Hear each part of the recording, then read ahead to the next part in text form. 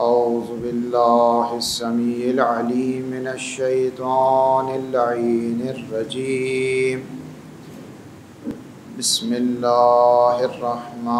बसमीम अल्हम्दुलिल्लाहिल काइन क़ब्ल अन यकून कुर्सियुन औ अर्शुन औ समाउन औ अर्दुन औ जानुन औ इंसुन ला युदरको बिवहमिन वला युक़द्दरो बिफ़हमिन वला यशगलहु साइलुन वला यनकुसहु नाइल वला यंजुरु बिअैनिन वला युहद्दु तुम्मा सलातो वस्सलामु अला सय्यदिना व नबियना व मौलाना मौला सकलैन जद्दिल हसनैन बिल क़ासिमिल मुस्तफ़ा मुहम्मद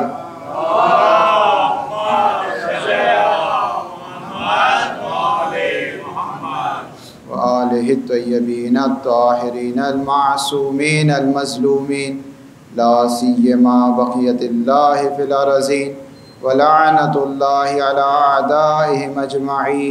सियमा बक़ियतिल्लाहि फ़िल अरज़ीन वलानतुल्लाहि अला अदाइहिम अजमईन मिनल आना इला क़ियाम यौमिद्दीन अम्मा बअदु फ़क़द क़ाल अल्लाहु तबारक व तआला फ़ी किताबिहिल मजीद बसमीम फ़हमलतहु फ़ंतबज़त बिही मकानन क़सिय्या फ़अजाअहा अलमख़ादु इला जिज़इन नख़ला क़ालत या लैतनी मित्तु क़ब्ल हाज़ा व कुन्तु नस्यम मनसिया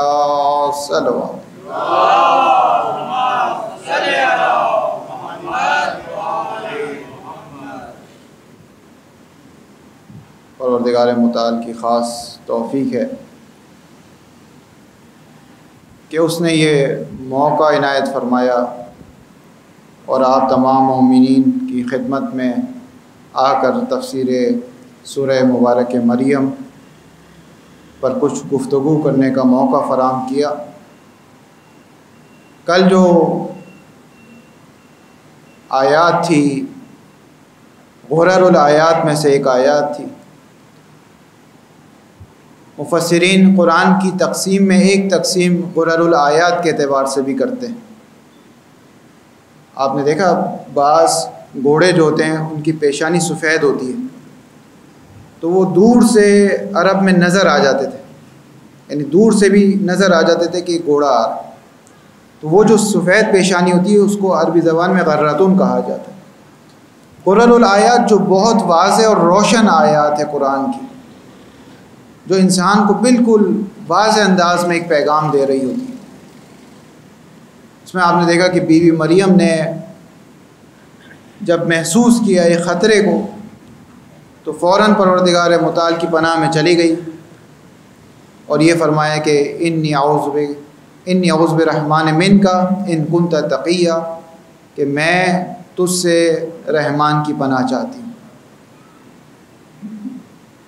और आप देखें कि जब बीवी मरियम की विलादत हुई है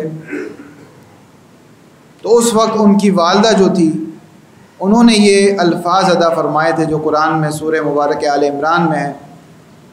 बीवी मरियम की वालदा ने फरमाया था कि परवरदिगार ओईज़ूहा बेका व ज़ुर्रियत मिन मिन शैतान रजीम, के परवरदिगार मुताल, मैं अपनी बेटी मरियम को और इसके आने वाली नस्लों को पनाह चाहती हूँ, पनाह चाहती हूँ और तेरी पनाह में आती हूँ, शैतान मरदूत से। यानी माँ ने जो बेटी की विलादत पर काम किया, कि जैसे बेटी की विलादत होती है तो फ़ौर उसे कहती है, परवरदिगार, इसे अपनी पनाह में रखना और उस पर शैतान के साय को भटकने ना देना। जैसे हमारे यहाँ विलादत होती है, एक सही है, फितरी तरीका है, इंसान खुशी मनाता है, इंसान जश्न मनाता है, इंसान लोगों को दावत देता है, वलीमा करता है, ये सारे मैसेजेस चलाता है, मुबारकबाद का सिलसिला होता है। ये सब अपनी जगह है। लेकिन बीवी मरियम की वालदा ने जो पहला काम किया, वो ये किया कि परवरदिगार ये बच्ची को मैं तेरी सपोर्ट करती हूँ। और यही बात जब बीबी मरियम जवान हो गई और उन्हें ख़तरा लाक हुआ तो वही बात जो उनकी वालदा ने, जो जुमला दोहराए थे वही उन्होंने उसी वक्त ये कहा कि इन रहमान मिन का इन कुन तकिया, कि मैं आज भी तुझसे पनाह चाहती हूँ, मैं रहमान की पनाह में चाहती हूँ। ये बात बताती कि वालदेन की जो सीरत है, वालदेन की जो ज़िंदगी है, वो कितनी ज़्यादा एक बच्चे की ज़िंदगी पर असरानंदाज होती है। यानी कितना ज़्यादा ऐसा होता है कि एक माँ, एक बाप अपनी ज़िंदगी में अपनी औलाद के लिए काम करता है, एक सोचता है, एक बात करता है तो वो जाकर उसे कितने अहम तरीन मोड़ पर उसे काम आती है। यहाँ जो काम बीवी मरियम की वालदा ने किया, वही काम जाकर बाद में बीवी मरियम ने किया। आप देखते हैं कि करबला में जो सबसे ज़्यादा, जो ज़ात सबसे ज़्यादा मोती कामिल है, वो हज़रत अब्बास अलमदार की ज़ात है।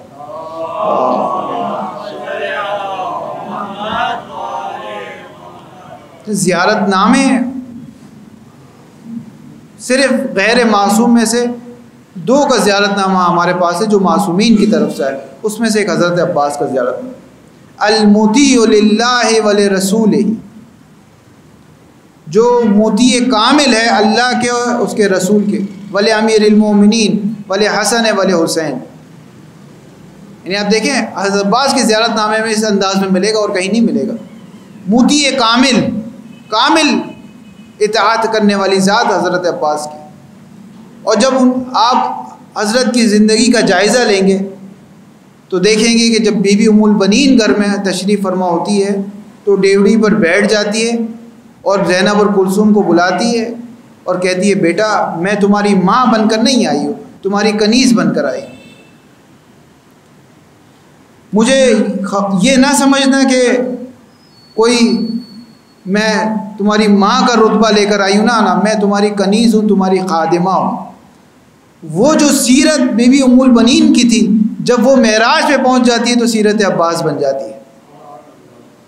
लेकिन वही चीज़ है, जो माँ बाप के क्या वही औलाद में आया। यानी कितना असरअंदाज है ये चीज़, कितनी असरअंदाज। है इसीलिए बीवी मरियम ने भी वही कलिमात अदा किए, जो उनकी वालदा मोहतरमा ने अदा किए। उसके बाद आयत,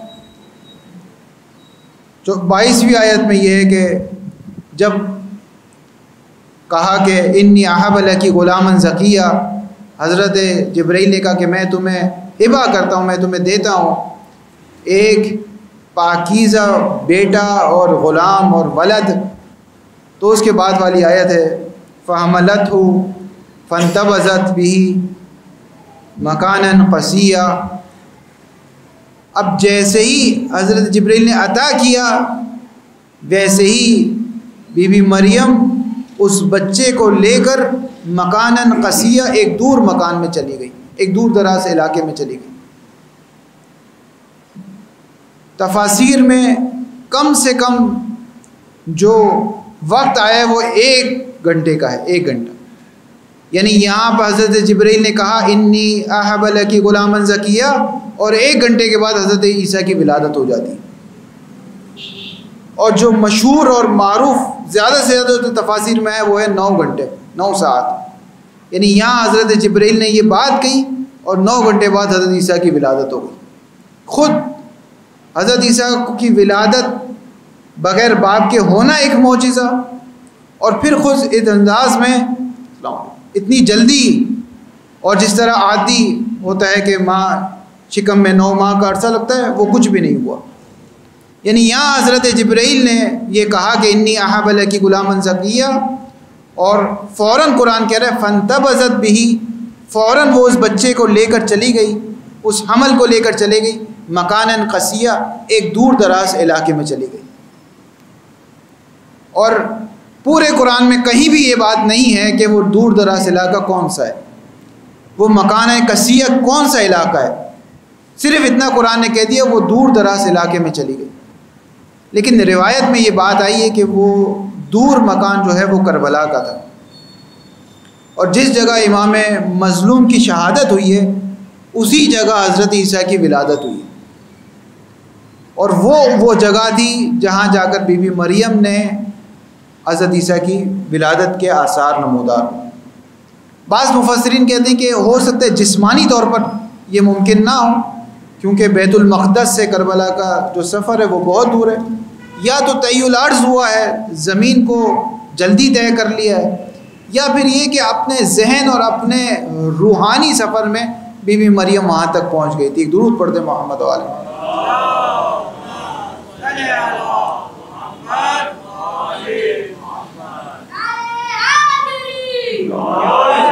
फ़ाजा मखाज़ो अला जज़ नखला।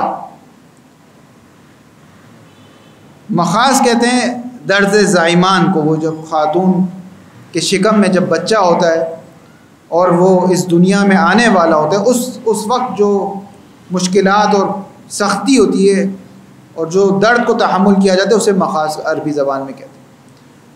वो दर्द ज़ाइमान बीवी मरियम को ले आया एक खजूर की टहनी के नीचे।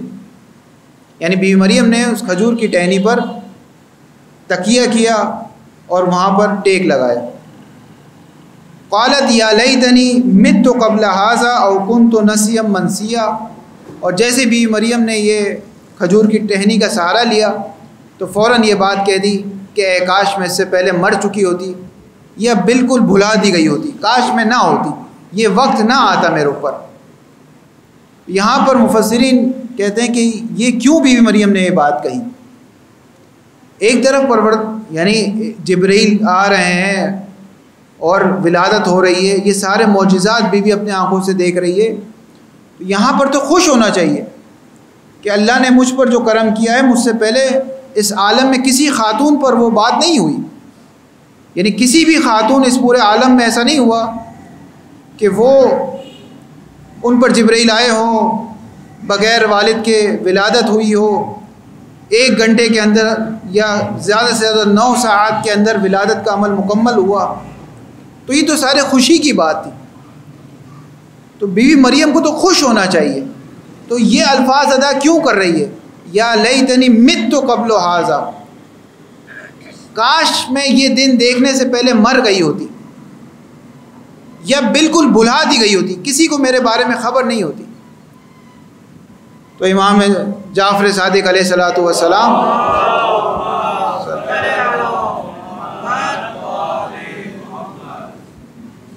ज़ाहिर है, ये जो मुश्किल कुशाई का दर खुला हुआ है हमारे लिए, वो यही दर है। सिर्फ़, यानी मादी और माल दौलत के हवाले से मुश्किल कुशाई नहीं है। ये जो कुरान के रमूज़ है और कुरानी आयतों के जो रम्ज़ है और जो सवालात हैं, वो भी हम जाते हैं, इस दर से पूछते हैं। वहाँ भी मुश्किल कुशाई हो रही है। तो इमाम ने फरमाया कि ये बात इस वजह से कही बीबी मरियम ने लिया लम तरा आहद आहदन बीबी मरियम ने अपनी कौम में कोई एक शख्स भी नहीं देखा जो इतना इतना रशीद होता, इतना समझदार होता कि बीवी उसको ये बात बताती तो वो इस बात को समझ जाता। यानी बीवी मरियम ने जब ये देखा कि ये जो औलाद हुई है तो एक पाक व पाकिज़ा ख़ातून के लिए, एक ऐसी ख़ातून जो हया का पैकर हो, एक ऐसी ख़ातून जिसके लिए तमाम बनी इसराइल और ये तमाम अफराद हैरान और सरगर्दा हों कि ये कैसी ख़ातून की विलादत हुई है। बीवी मरियम की इब्तदा से ताहिरा ज़किया मशहूर थी। उस खातून के लिए ये तस्वुर करना कि मैं एक ऐसी औलाद को अपनी कौम में ले जाऊँगी और कोई उसमें से एक शख्स भी नहीं था जो मेरी इस बात को यकीन कर लेता कि ये परवरदिगार की तरफ़ से मुझे अता हुआ है, वलम यमससनी बशरुन, मुझे किसी बशर ने छुआ तक नहीं है। कोई भी ये बात नहीं समझता। जिसको भी बताती भी मरियम, वो शख्स आता और कहता, नहीं, आप झूठ कह रही नौजुबिल्ला और आपने नौजुबिल्ला मिनजाली कोई गलत काम किया यानी ये सोच सोच कर बीबी मरियम, ये सोच सोच कर एक ऐसी पाकिज़ा खातून के लिए ये ख्याल कि मेरे बारे में लोग क्या सोचेंगे? कि मैंने खुदा न खास्ता कोई कैसा फ़ेल अंजाम दिया, ये सोच सोच कर बीवी इतनी ज़्यादा मुस्तरब हो गई कि ये कहने लगी कि काश ये दिन देखने से पहले मैं मर चुकी होती। और देखें, एक पाकिज़ा खातून एक तरफ़ ठीक है, परवरदिगार की तरफ़ से जैसे जबराइल आ रहे हैं। बगैर लिहाबल की गुलामन जकिया की बात है, सब कुछ है, लेकिन दूसरी तरफ़ से पाकिजगी इस दर्जे कमाल पर है। कि असन जब ये तस्वूर आता कि लोग मेरे बारे में क्या सोचेंगे तो फ़ौर एक ख्याल उठता है वजूद में कि काश लोग मेरे बारे में ये ना सोचते। और अफसोस इस बात का है कि पूरी कौम में कोई एक ऐसा जवान मर्द शख्स नहीं है। कोई एक ऐसा इमाम फरमाते रशीद। रशीद कहते हैं, एक होती बलूगत जिस्मानी। बलूगत जिस्मानी जैसे पंद्रह साल चाँद के हिसाब से हो जाए तो लड़का बालिग हो जाता है। नौ साल में एक बच्ची बालिग बालिगा हो जाती है। ये बलूगत जिस्मानी है। एक है बलूगत फ़िक्री। इंसान नज़रियाती तौर पर, जहनी तौर पर, अकली तौर पर शूरी तौर पर, फ़िक्री तौर पर, तदब्बरी तौर पर तफक्री तौर पर, इतना बालिग हो जाए, बाद अफराद जिस्मानी तौर पर बालिग हो जाते हैं। मुमकिन है जिस्मानी तौर पर चालीस साल के हो जाए। मुमकिन है जिस्मानी तौर पर साठ साल के हो जाए। मुमकिन है जिस्मानी तौर पर कहूल हो जाए। लेकिन जहनी तौर पर नाबालिग रहते हैं। जहनी तौर पर नाबालिग रहते हैं। यानी फ़िक्री तौर पर आप उनसे पूछें तो उनकी फ़िक्र अभी तक बच्ची, बचकाना फ़िक्र के हामिल होते हैं। इमाम फरमा रहे उस पूरी कौम में एक भी रशीद शख्स नहीं था, एक भी बलूगत फ़िक्री रखने वाला शख्स नहीं था, जो बीवी मरियम की ये बात सुनता, उनकी बात को यकीन करता, उसकी तायद करता और अपनी कौम से उनका दिफा करता। एक भी ऐसा शख्स नहीं था। और ये चीज़ हमारे लिए भी एक किस्म की सख्ती ले आती है कि जब बाज़ात हजत खुदा पर कोई मुसीबत आती है। अब देखें इमाम हसन मुशतबा सलाम के दौर में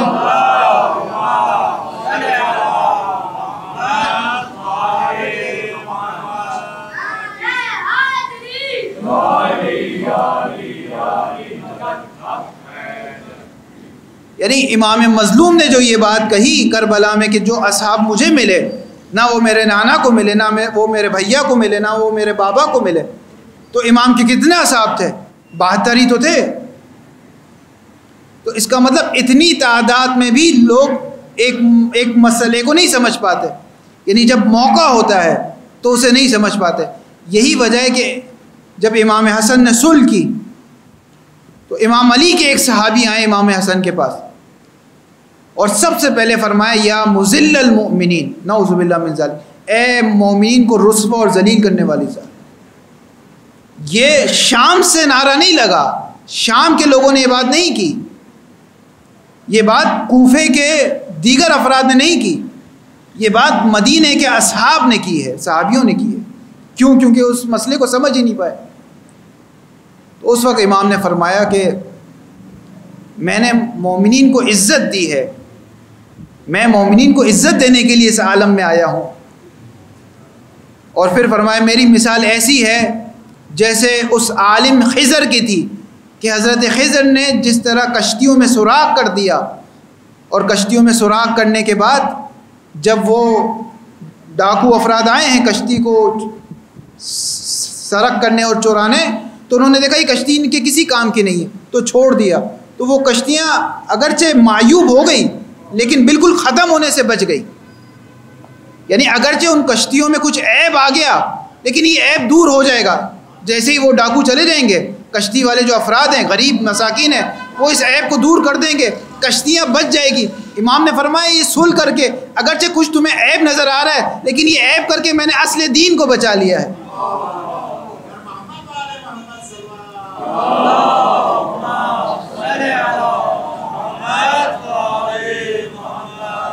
हमें जब बुरा लगता है।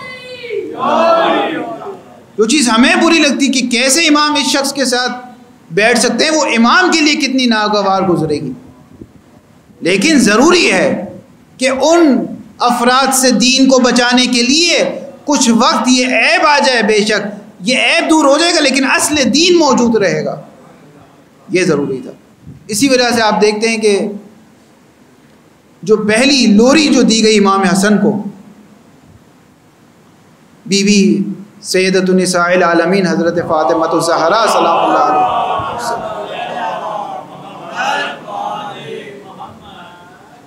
यानी जो तबीयात है नेचुरल साइंस के जो उलमा हैं, वो ये कहते हैं कि माँ अपने बच्चे से जो पहला रिश्ता, तालीमी रिश्ता बरकरार करती है, वो लोरियों के ज़रिए से करती है। गज़ाई रिश्ता जो बरकरार करती है, वो दूध के ज़रिए से करती है।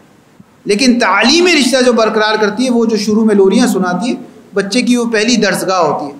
तो जो पहली लोरी थी, जो बीबी जहरा ने दी, वो कहा, अश बाबा का या हसन, वखलानिल हक के रसन, वाबुद इलाहन जल मनन, वला तुवाली जल एहन क्या हसन, अगर तुम्हें ज़िंदगी में किसी की तरह बनना है तो वो तुम्हारे बाबा अली हैं, उनकी तरह तुम्हें बनना है। यानी आप देखिए, बच्चा जो होता है, वो अपने लिए एक नम, एक ऐसे आइडियल शख्स को तलाश करता है जिसके पीछे वो जा सके। हमेशा बच्चा फॉलो करना चाहता है किसी शख्स को। इसीलिए अरब में एक इल्म होता था अब ख़त्म कर दिया इस्लाम ने आकर क़याफ़ शनासी। इल्म क़याफ़ शनासी इस्लाम से पहले एक बाज़ थे। आप दुआओं में पढ़ते हैं कि परदिगार हमें इल्म नाफ़े अदा कर। पैगंबर ने फरमाया ये इल्म तो है लेकिन इल्म नाफ़े नहीं है। वो क़याफ़ शनासी में क्या होता था? क़याफ़ शनासी में ये होता था कि अगर किसी बाप को शक हो जाए कि ये बच्चा मेरा है या बच्चा मेरा नहीं है तो कुछ एक्सपर्ट्स होते थे अरब में, उनको बुलाया जाता था।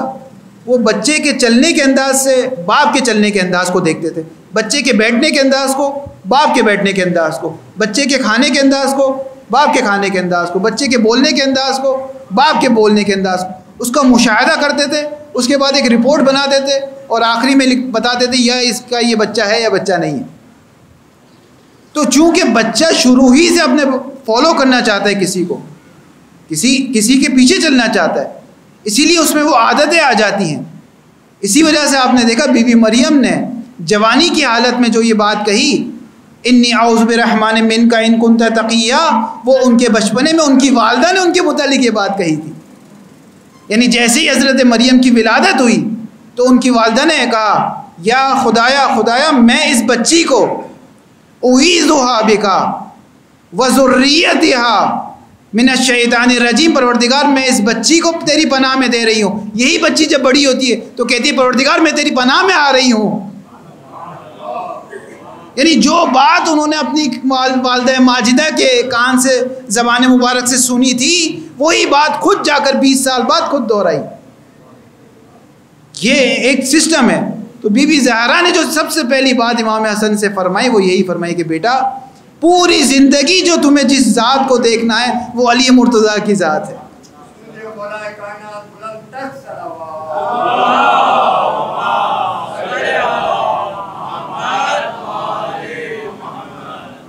वखलानिल हक रसन, और हक की राह में जितनी मुश्किल आए, तुम्हें वो बर्दाश्त करनी देखें ये माँ दर्ज दे रही है लो, लोरियों की सूरत में। अभी कोई बाकायदा खुतबात नहीं है कोई कलिमात नहीं है मस्जिद में जाना नहीं हुआ अभी इमाम हसन की विलादत हुई है। अभी से इमाम हसन के इमाम हसन के ये जहन में ये समातें टकरा रही हैं बेटा तुम्हें हक का दिफा करना है। और आप देखें कि ये पहला दर्स था जो इमाम हसन को दिया गया। और ज़रबत के बाद एक वसीयत है इमाम अली की, इमाम हसन और हुसैन से। दो वसीयत हैं नाजुल बलागा में। एक ज़्यादा तुलानी वसीयत है जो जंग सिफ़ीन में की और एक मुख्तसर वसीयत है जो ज़रबत के बाद की। उसमें कहा कि कूना लिज़ालिम खसमा वल मज़लूम आउना अपने दोनों बेटों के हाथ पकड़ के मौला ने कहा कि मेरे दो बेटे हसन और हुसैन ालिम के मद्द मुकाबिल रहना और मज़लूम के हमेशा हिमायती याफ्ता रहना। पहला दर्ज क्या मिला? यही मिला कि हक की राह में मुश्किल को बर्दाश्त करना है। आखिरी दर्ज जो मिल रहा है वो यही मिल रहा है कि ालिम के मद्द मुकाबिल रहना है, मज़लूम की हिमायत करनी है। आप देखें, आखिरी खुतबा जो इमाम मज़लूम का करबला में था, इमाम ने यही तो फरमाया कि उस लईन इबन लईन ने कतरा कज़ा बैन इसनतैन मुझे दो चीज़ों के दरमियान मजबूर कर दिया। बैन ज़िल्लत वसिल्ला, कि मैं इज़्ज़त का रास्ता अपनाऊँ, या ज़िल्लत का रास्ता अपनाऊँ? वह हयात में न ज़िल्ला, ज़िल्लत हमसे बहुत दूर है। कद अबन ज़ालिक, व रसूल हूँ हमें ज़िल्लत का रास्ता इख्तियार करने से सख्ती से मना किया। किसने? हमारे खुदा ने मना किया, क्योंकि वो बाइज़्ज़त खुदा है। और किसने मना किया? हमारे रसूल ने हमें मना किया। व तुहुर ताबत और मैं जिन पाकिज़ा गोदियों में बड़ा हुआ हूँ ना, उन्होंने हमसे मना किया था कि कभी जिल्लत का रास्ता इख्तियार ना करना। देखिए, वही अपनी वालदा की बात की, कि मैं जिन गोदियों में बड़ा हुआ हूँ, जिन पाकिज़ा गोदियों में, उन्होंने मना किया था कि ज़िल्लत की राह पर नहीं जाना, इज़्ज़त की राह पर जाना। इसी वजह से इमाम हसन ने भी ये बात फरमाई कि मैं कैसे मोमिन को जलील करवा, मैं तो मोमिन को इज़्ज़त देने के लिए इस दुनिया में आया हूँ।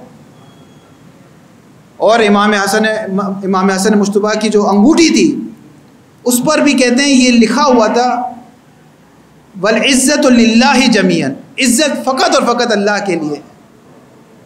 यानी एक ख़ास रिश्ता है इज़्ज़त का और इस घराने का और ज़िल्लत का और इनके दुश्मनों का। दुरूद पढ़ दे मोहम्मद वाले मोहम्मद।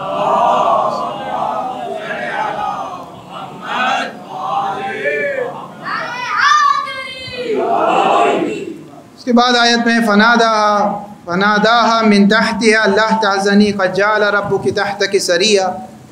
अभी तीसरा मोजा है। पहला मोजा आपने देखा कि हज़रत जबरील का आना हुआ। दूसरा मोजा कि चंद घंटों में विलादत हो गई। ये तीसरा मोजा है कि हज़रत ईसा, अब बीबी मरियम का जो ये इसतराब है, ये कौन दूर कर रहा है? ये खुद हज़रत ईसा दूर कर रहे हैं। हज़रत ईसा बिल्कुल अभी विलादत हुई है। और ये फरमा रहे हैं कि वालद माजिदा, आप गम ना करें। आप हुसन ना करें। परवरदिगार ये मराहल को दूर कर देगा। यहाँ से बीबी मरियम को ये बात आई कि हज़रत ईसा बोल सकते हैं तो चंद आयतों में बाद जाकर जब वो एतराज़ करेंगे तो उस वक्त बीबी मरियम इशारा करेगी कि इस बच्चे से पूछ लो। क्योंकि पहले बोलते हुए सुन लिया है पहले बोलते हुए सुन लिया है। और आप देखें कि एक शख्स आया है सवाल करने, सादिक आल मोहम्मद, इमाम जाफ़र सादिक सलाम से।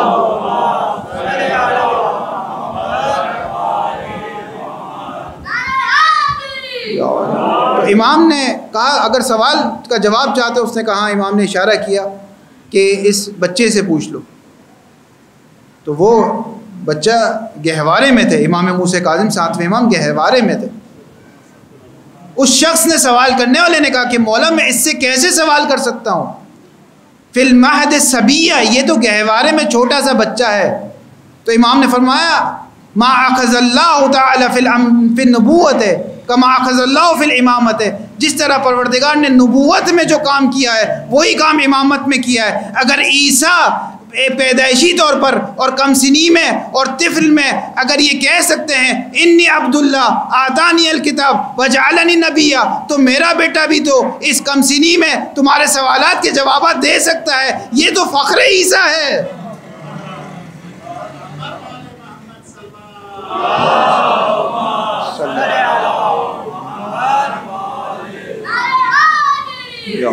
तो ये क्यों जवाब नहीं दे सकता? क्योंकि परवरदिगार अगर नबी को ये ताकत दे सकता है। आज बाज़ात हम भी इन रिवायत को पढ़कर समझते हैं, शायद ये ज़यीफ़ रिवायत हैं, शायद ये मुबालगा है, ऐसा नहीं हुआ होगा। कैसे हो सकता है कि इमाम मूस काजिम कम सिनी में गुफ्तु करें? एक आम शख्स, एक आम शख्स, एक आम बच्चा था जिसने हज़रत यूसुफ की गवाही दी थी। एक आम सा बच्चा था, हज़रत बीबी जुलेखा की बहन का बेटा था वो। कोई नबी नहीं था, कोई वली नहीं था, कोई हजत खुदा नहीं था, कुछ भी नहीं था। लेकिन जब हजत खुदा पर मुसीबत आई है तो परवरदिगार एक आम शख्स को भी ये इज़न अता कर देता है कि वो बचपने में गुफ्तु शुरू कर देता है। तो खुद इमाम क्यों गुफ्तु करके नहीं बता सकते? ये ये चीज़ें आती हैं आइम्मा के लिए, कोई मुश्किल नहीं है। तो हज़रत ईसा उस आलम में अपनी वालदा के लिए ढारस बन रहे हैं। और उनके कल्ब से इसतराब को दूर फरमा रहे हैं। और कहा, वालदा माजिदा, आप घबराइए नहीं। भला तहज़नी, आप हजन ना कीजिए कि खुदा, अब यहाँ पे दो तर्जुमे होते हैं आयत के। एक ये कि सरियन से मुराद नहर और चश्मा लिया गया है और एक सरियन से मुराद वो इसतराब जिस वजह से बीबी मरियम को रंश था कि लोग मेरे बारे में क्या सोचेंगे, उसकी बात है कि परवरदिगार उस मसले को हल फरमा देगा। ये दोनों तर्जुमे आपको मिल जाएँगे।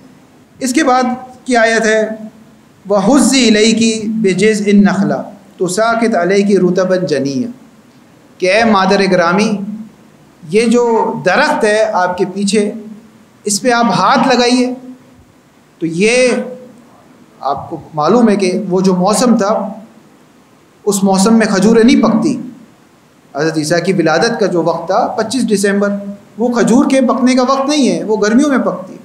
तो वो खुश्क दरख्त। कहा, मादर ग्रामी आप हाथ लगाइए फ़कत और इसको थोड़ा हिलाइए दरख्त को तो ताज़ा ताज़ा खजूरें आपके ऊपर आकर गिरेंगी। अब यहाँ कहते मुफसरीन ये क्यों कहा कि हाथ लगाइए? यानी बीवी मरियम को क्यों कहा गया हाथ लगाइए? परवरदिगार बगैर हाथ लगाए दे देता। बगैर हाथ लगाए दे देता। ज़रूरत क्या थी हाथ लगाने की? जब इतने सारे मोजिज़ात हो रहे हैं तो एक और मोजिज़ा हो जाता। तो कहते नहीं, जैसे जैसे हज़रत मूसा का असा था, वो असा ज़मीन पर अगर मारा जाए तो अजदा में तब्दील हो जाता है। अगर असा ज़मीन पर मारा जाए तो उसमें से ज़मीन में से बारह चश्मे वजूद में आ जाते हैं। वो ताकत असा में नहीं थी, वो ताकत मूसा के हाथ में थी। हज़रत मूसा के इस दुनिया से जाने के बाद भी असा मौजूद रहा, लोगों के हाथों में रहा, लेकिन कब कोई भी उस असा को ता क़यामत अजदह में तब्दील ना कर सका, चश्मे में तब्दील ना कर सका, क्योंकि परवरदिगार बताना ये चाहता था कि ताकत असा में नहीं है, मेरी इस हजत खुदा में है, मेरे इस नबी में है, इसके हाथ में अपनी इतनी ताकत दे दी कि असा भी ज़मीन पर मारेगा तो अजदा में तब्दील हो जाएगा। यहाँ पर यह बताना चाहता है कि मरियम के हाथों में इतनी ताकत है कि ये जो ये जो खजूर का दरख्त है जो सूखा हुआ है, इस पर हाथ लगाएगी, खजूरें ताज़ा ताज़ा आकर गिरेगी। हमें ये समझाना चाहता है कि ये ना समझना कि इमाम के हाथों में कोई ताकत नहीं है। इमाम के हाथों से मांगोगे तो तुम्हें शिफा भी मिलेगी शिफात भी मिलेगी।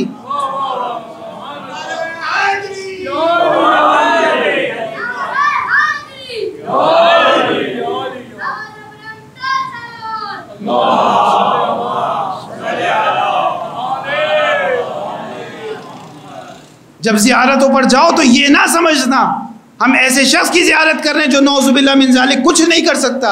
अगर कुछ नहीं कर सकता तो क्यों पैसा खर्च करके हम उनकी ज्यारत करने जा रहे हैं? जियारत के आदाब में से एक अदब यह है कि जब जाएँ जियारत करने, चाहे करबला जाएँ, चाहे नजफ़ जाएँ, चाहे सामरा जाएँ, काजमैन जाएँ मशद जाएँ, कुम जाएँ, जियारत के आदाब में से एक अदब यह है कि जब जाएँ तो इस अंदाज में जाएँ कि उन्हें हाजिर और नाजिर जाने। ये ना जाने कि वो आपको सुन रहे हैं, वो आपको समझ रहे हैं मुश्किल को रफ़ा कर सकते हैं। परवरदिगार ने वो ताकत अता की।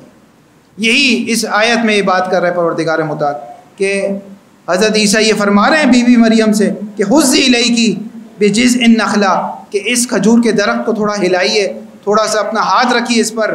तो साकित अलई की रुतबन जनिया, ताकि आपके ऊपर तरोताज़ा खजूरों की बारिश हो जाए। बास रिवायत में एक और नुक्ता भी है इस आयत में। और वो ये है कि परवरदिगार रिस्क तो देता है, लेकिन चाहता है कि कुछ एफर्ट्स इंसान भी करे, कुछ इंसान भी हरकत करे, कुछ इंसान भी आगे बढ़े। तो कहा, मरियम, हम तुम्हें वैसे ही खजूर दे सकते थे, लेकिन हम ये चाहते कि थोड़ा सा आप भी अपने हाथों को हिलाइए। ये भी एक नुक्ता है शायद कि इंसान फ़कत ये ना सोचे कि ठीक है, जो मेरी रोज़ी होगी, जो मेरा मुकद्दर होगा, जो मेरा रिस्क होगा, वो तो मुझे मिल जाएगा। अब चाहे मैं काम करूँ या ना करूँ, इस सोच की मुखालफत कर रही है ये आयत और कह रही है कि ठीक है, जो तुम्हारी रोज़ी वो तुम्हें मिलेगी, लेकिन तुम भी अपने हाथ चलाओ। ये ये तफसीर भी इस आयत की है। और उसके बाद परवरदिगार फरमा रहा है अदद ईसा के ज़रिए से फ़कुली वशरबी व कर्रन फ़िम्मा तरीन मिनलबशर आहदन फ़कुली, इन्नी नज़र तो रहमान सौमन फ़लाकलमलियोम कि आप खाएँ, पिए। क्योंकि इंसान अगर आप देखते हैं कि अगर किसी के यहाँ मैत हो जाए तो उसका खाना पीना छूट जाता है। क्यों छूट जाता है? क्योंकि रंजीदा होता है, गुलगीर हो जाता है। दर्द में मुबतला है, मुस्तरब है, मुस्तर है, परेशान हाल है, खाना पीना छूट जाता है। बीवी मरियम को जो सदमा था कि लोग मेरे बारे में क्या सोचेंगे, मेरी अपनी पाकिजगी का क्या बनेगा, मुझ पर क्या इल्ज़ाम लगेंगे, वो इतना इतना रंजीदा कर दिया था बीवी मरियम को कि खाना पीना छूट गया था। बावजूद ये कि, बावजूद ये कि बीवी के कदम से पानी की नहर जा रही थी और और दरख्त से ताज़ा खजूरें आ रही थी। उसके बावजूद भी हज़रत ईसा को कहना पड़ा कि मादर ग्रामी कुछ खाइए कुछ पिए। क्योंकि इंसान को, गम इंसान को खाने नहीं देता, खाना पीना रोक लेता है। आप बावजूद इंसान जितना भी भूखा हो, उसकी उसकी भूख का एहसास नहीं होता उसे। आप देखिएगा कि अगर किसी का, किसी के अज़ीज़ का इंतकाल हो जाता है, पूरा ख़ानदान उसे कह रहा होता है, भाई कुछ खा लें आप, कुछ पी लें। वो नहीं खाता, कहते नहीं मुझे इस, इसमें दिल नहीं हो रहा मेरा। हालाँकि मुमकिन है दो दिन से उसने कुछ ना खाया हो। लेकिन वो जो कैफियत होती है, वो कैफियत इतनी सख्त होती है कि अब उसकी भूख पर आगी आ जाती है। हज़रत ईसा जानते थे कि बावजूद ये कि नहर जा रही है बावजूद ये कि, कि ये खजूर आ रही है लेकिन मेरी वालदा की कैफियत ऐसी है कि वो कुछ नहीं खाएगी। तो फरमा रहे हैं वह कुली व शरबी कुछ खा लीजिए कुछ पी लीजिए। वह कर रही आइन अल्लाह आपकी आँखों को ठंडा रखेगा।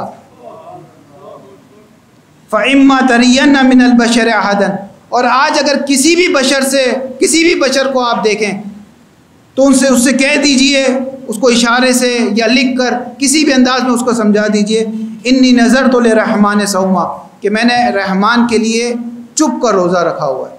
मैं कुछ गुफ्तु नहीं कर सकती। फ़लन उकलमल योम इंसिया और आज मैं किसी शख्स से गुफ्तु नहीं करूँगी। आप देखें, हज़रत ज़करिया के बारे में भी यही था कि अल्लाह की निशानी ये थी कि हज़रत ज़करिया, आप ला तुकलमन्नास सलासा लयालिन सविया कि आप तीन दिन तक गुफ्तु नहीं कर सकेंगे। यहाँ बीवी मरियम के लिए भी ये निशानी कि गुफ्तु नहीं हो सकेगी। यानी खुद गुफ्तु करना बाज़ात परवरदिगार चाहता है कि ये फ़कत मुझसे महव गुफ्तु रहें। किसी और इंसान से गुफ्तु ना करें। इंसान को जो मरातब अदा करता है, मरतबे अदा करता है परवरदिगार। तो एक बार जैसा होता है अब ये मिसाल, भोंडी सी मिसाल है, इसको बर्दाश्त कर लीजिएगा। लेकिन समझाने के लिए सिर्फ़, मसलन अगर आप अपने किसी दोस्त से गुफ्तु कर रहे हैं, किसी अज़ीज़ से, कोई रिश्तेदार से, कोई अपने शोहर से गुफ्तु फरमा रही है खातून, और वो देख रहे हो कि वो मोबाइल में लगा हुए तो झड़क देती कि आप ये काम ना करें। सिर्फ़ मुझसे हम कलाम। बाज़ात इंसान चाहते हैं, सिर्फ़ उससे हम कलाम हो। ये तो मिसाल सिर्फ़ समझाने के लिए थी तकरीब जहनी के लिए थी कि समझ में आ जाए। ये परवरदिगार मुताल अगर ज़मीन पर उसका कोई वली रहता है तो कहते हैं अब तीन दिन तक किसी से गुफ्तु ना करना सिर्फ़ मुझसे गुफ्तु करना और कभी कभी महराज पर बुलाकर उससे गुफ्तु करता है।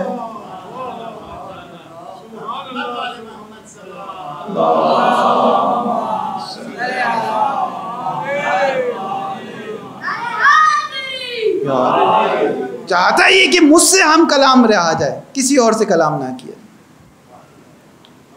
उसकी चाहत है उसकी ये। वो उस, अपने बंदों से इस तरह अंदाज में मोहब्बत करता इसी वजह से नमाज़ में भी कहा गया कि नमाज़ बेहतरीन नमाज़ वो है कि इंसान की तवज्जो किसी और की तरफ़ ना जाए। ना कल किसी और की तरफ़ मुतवजह हो, ना जहन किसी और की तरफ़ मुतवजह हो। जिसकी बारगाह में खड़ा है, उसी की बारगाह में मुतवजह हो बस। और जब भी नमाजी का ज़िक्र आएगा तो उस नमाजी का भी ज़िक्र आएगा, जिसको हालत नमाज़ में ज़रबत लगी।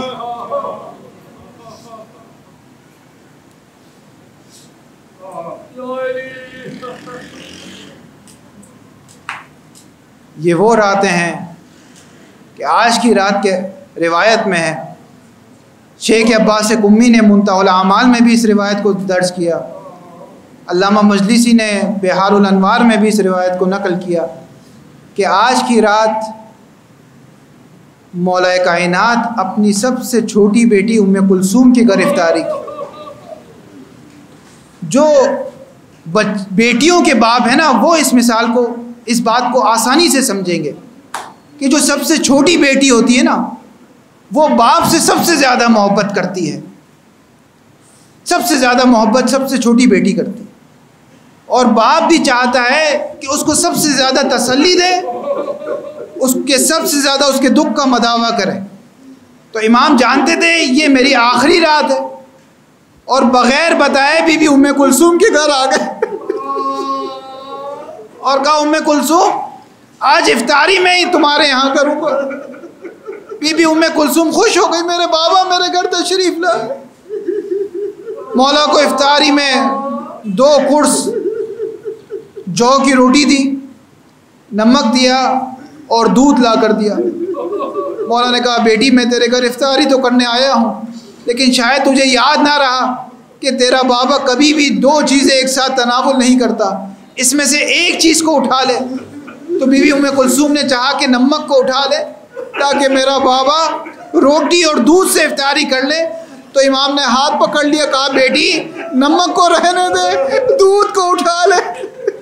तेरा बाबा चाहता है इस आलम में अपने रब से मुलाकात करे कि तेरा बाबा भूखा हो, शिकम सैर होकर मुलाकात ना करे और इत्तेफाक से जैसे इफ्तारी की तो इफ्तारी करने के बाद मौला ने सितारों की जानब निगाह करना शुरू की और ये फरमाना शुरू किया, वमा कुजिब तो वहीलती वो इतो खुदा की कसम मुझसे झूठ नहीं कहा गया। ये वही रातें हैं जिसका मुझसे वादा किया गया। सुबह के वक्त जब मौला अपने घर से निकले हैं उनमें कुलसुम को रुखसत किया तो चंद मुर्गाबियों ने मौला का दामन पकड़ लिया। जैसे बेजबानी के आलम में मौला से ये कह रही हो, ए मौला, ए कायनात, आप सिर्फ़ उम्मे कुलसुम के इमाम तो नहीं है, आप हमारे भी तो मौला है। आप हमें छोड़कर कहाँ जा रहे हैं? मौला ने फरमाया, कुछ वक्त नहीं जिस तरह ये मुर्गा भी बेताबी कर रही है। इसी तरह इंसान नालों फुगा करेंगे। जब मौला मौला का कमर बंद, मौला के दरवाजे से बंद जाता है। जैसे दरो दीवार ये पुकार रही हो, अली मुर्तुजा ना चाहिए अली मुर्तुजा में छोड़ करना चाहिए खुदा हम सबको मदीने की जियारत नसीब करे। मदीने में एक सुतून है, सुतून हन्नाना है। जब सुतून हन्नाना पर पैगंबर का दस्ते शफकत नहीं आया तो उसने गिरिया करना शुरू कर दिया। अली मुर्तुजा भी अपने घर से निकले हैं तो मुर्गा भी, भी गिरिया कर रही है दरो सुतून भी गिरिया फरमा रहे हैं।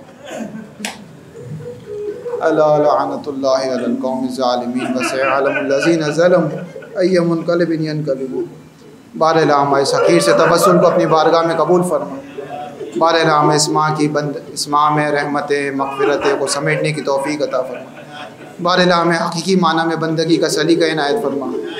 बार में कुरान मजीद को पढ़ने, उस पर अमल करने की तोफ़ी अता फरमा। बार जो कोई परेशान हाल है, उसकी परेशानी को रफ़ा फरमा। जो कोई मकरूज़ है, उसके कर्ज़े को अदा फरमा।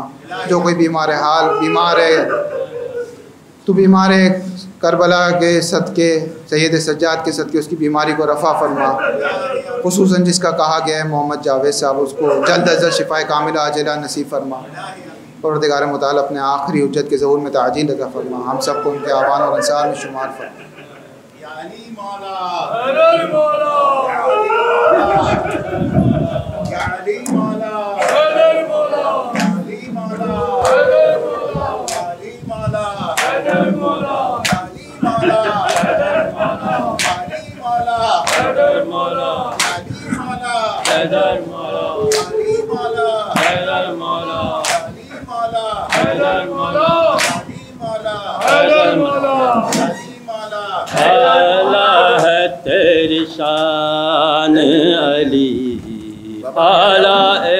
uh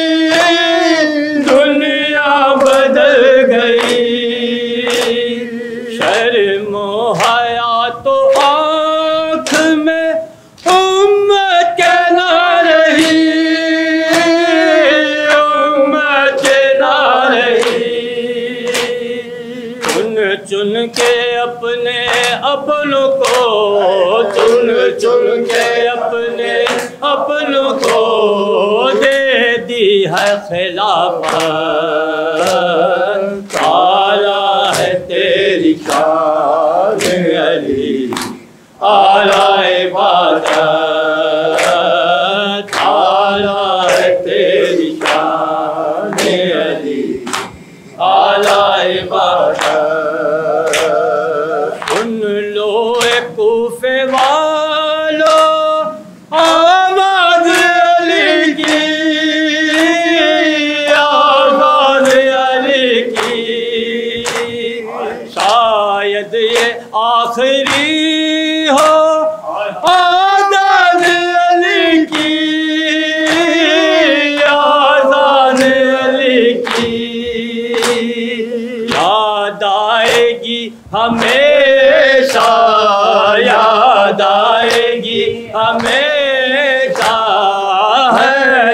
Yeah.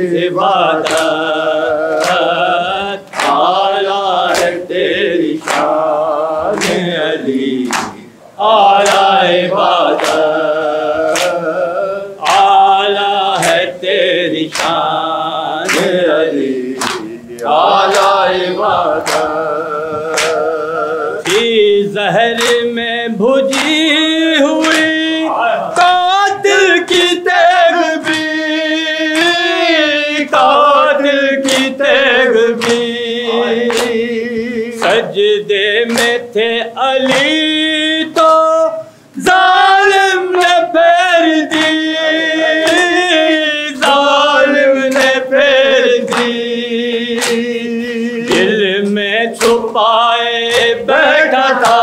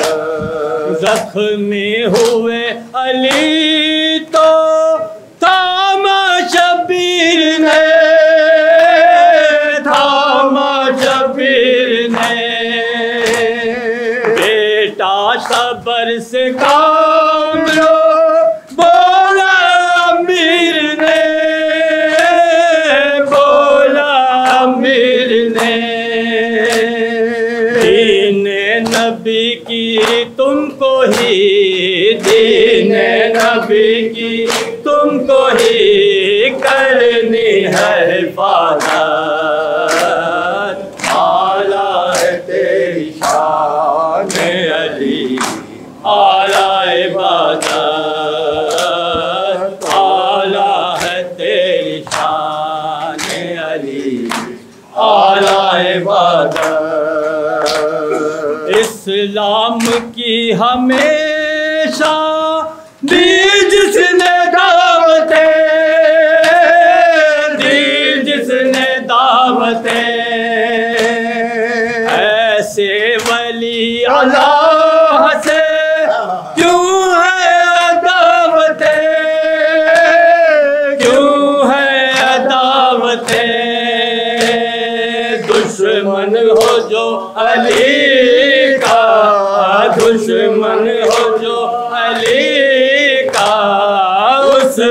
फर्द पे लाना ताला है तेरी अली। अली। आला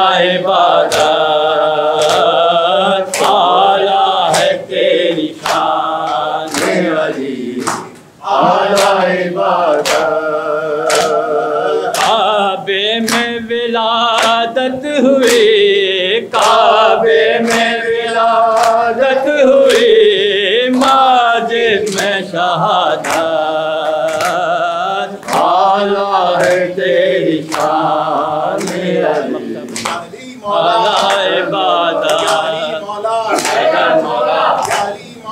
Haydar Mola. Ali Mola. Haydar Mola.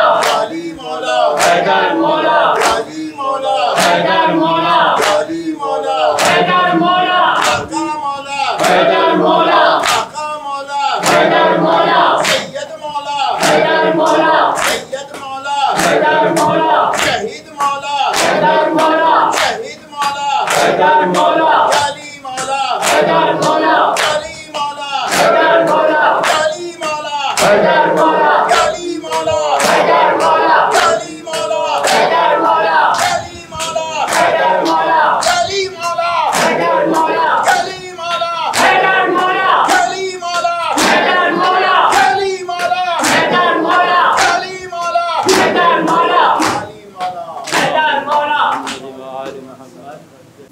सूर्य फातिहा की गुजारिश है।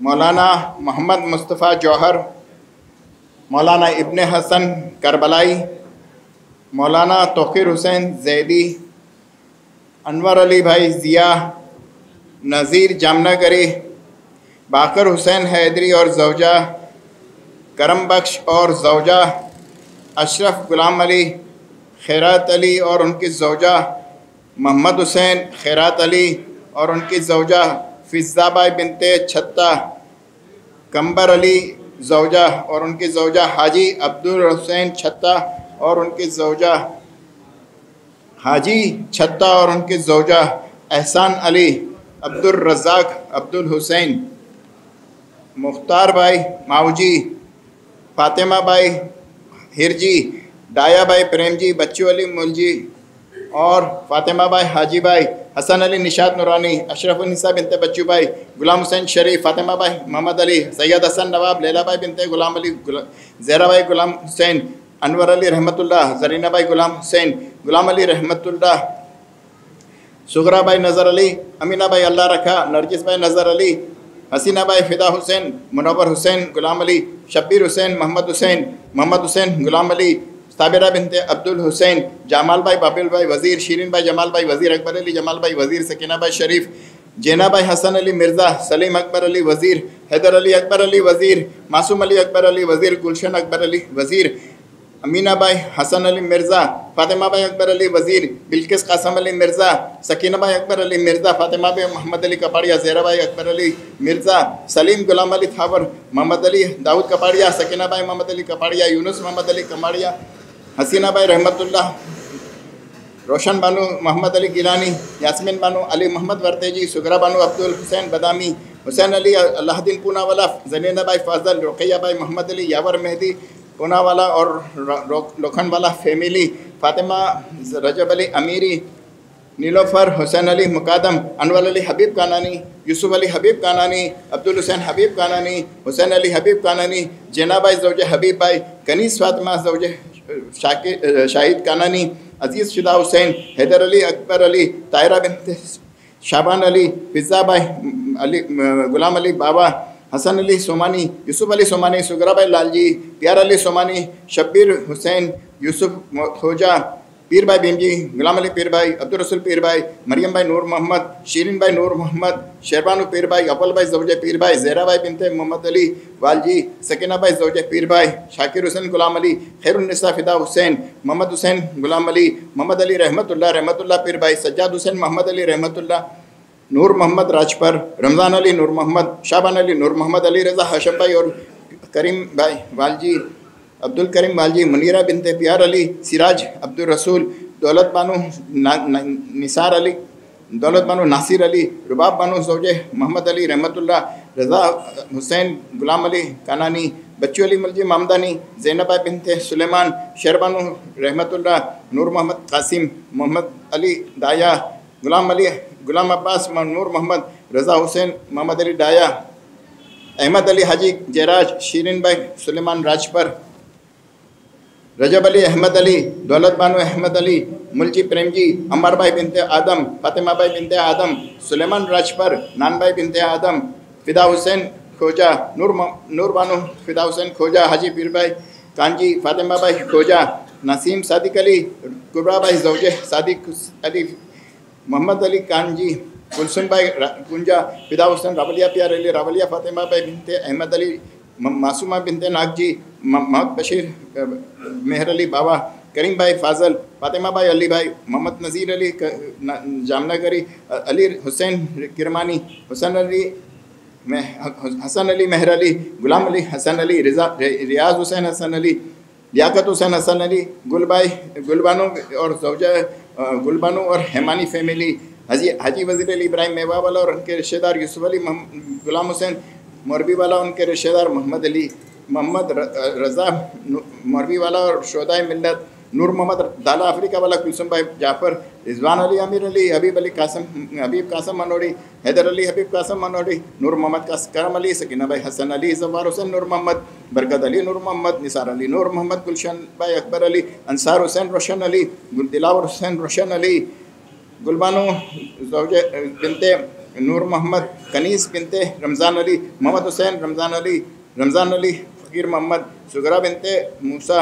अकबर अली, फ़कीर मोहम्मद अमीना भाई अकबर अली जरीना भाई अकबर अली, कुलसुम बिनते अकबर अली, रजब अली मुनज़र अली, हुसैन अली, बंदे अली, बंदे फ़ातिमा भाई कपड़िया फ़ातिमा तो जहरा बेबी गुलाम अब्बास बरकत अली, मुमताज़ रजब अली, रोशन अली, असगर अली, अकबर अली, हाजी वालजी और उनके जौजा, विश्राम और उनके रिश्तेदार, कासम अली करमानी और उनके जौजा, मोहम्मद हुसैन बालू भाई और उनके जौजा, अली हुसैन फिदा हुसैन, राजानी और रिश्तेदार मरहुमिन कासम अली कमरुद्दीन वकील, सकीना भाई जाफ़र अली वकील, शमीम बिनते अल्लाह रखा, रजब अली सोमजी और उनके रिश्तेदार सुल्तान अली, नूर अली, गुलाम गुलाम हुसैन माऊजी शेरबानो, जौजे गुलाम हुसैन माऊजी इनायत अली अब्दुल रसूल शाहबुद्दीन, गुलाम अब्बास किरमानी, गुलाम अब्बास करमसी, मुनीरा जौजे गुलाम अब्बास, कनीस फातिमा, जौजे गुलाम अब्बास, रज़ा हुसैन गुलाम हुसैन काजी, फातिमा बाई रज़ा हुसैन कारा, अली रज़ा कानानी, रोशन बानो बिनते हसन अली,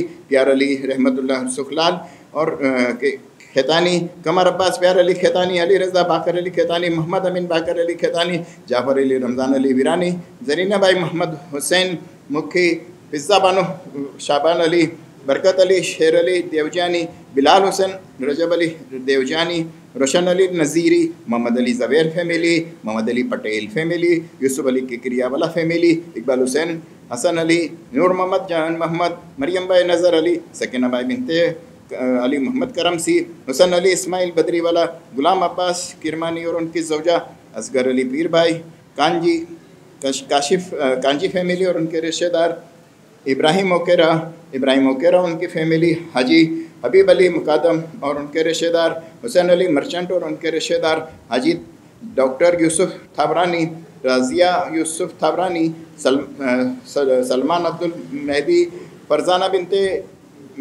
रोशन अली शब्बीर हुसैन गुलाम हुसैन और रजब अली हैदर अली तुराबी मोहम्मद हुसैन अमीर अली रज़िया भाई बिनते अमीर अली फातिमा भाई बिनते हुसैन अली सुगरा भाई बिनते हाजी नानजी अब्दुल अमीर अली ज़बैर भाई, रहमत भाई राम जी और तमाम मराजीन कराम मरहुमिन, तमाम उज़्ज़ाम मरहुमिन, तमाम शहदाय मिल्लत, इस इमाम बारगाह के तमाम कारकुनान और मेम्बरान मरहुमिन, मौलाना साहब के मरहुमिन, हम आप सब के मरहुमिन और जिनका कोई फातिहा पढ़ने वाला नहीं रहा उन सब के लिए सूर मुबारकतुल्फ़ातिहा बिस्मिल्लाहिर्रहमानिर्रहीम। अल्हम्दुलिल्लाहि रब्बिल आलमीन अर्रहमानिर्रहीम। मालिक यौमिद्दीन। इय्याका नअबुदु व इय्याका नस्तईन। इहदिनस सिरातल मुस्तकीम। सिरातल लज़ीना अनअमता अलैहिम। वलज़्ज़ालिन बिस्मिल्लाहिर्रहमानिर्रहीम। कुल हुवल्लाहु अहद अल्लाहुस समद। लम यलिद व यूलद व यकुल लहु कुफुवन अहद। बिस्मिल्लाहिर्रहमानिर्रहीम। कुल अहद अल्लाहुस समद लम यलिद व लम यूलद व लम यकुल लहु कुफुवन अहद। बिस्मिल्लाहिर्रहमानिर्रहीम। कुल अहद अल्लाहुस समद लम यलिद व लम यूलद व लम यकुल लहु कुफुवन अहद। इन्नल्लाहा व मलाइकतहु युसल्लूना अलन नबी। या अय्युहल्लज़ीना आमनू सल्लु अलैहि व सल्लिमू तस्लीमा।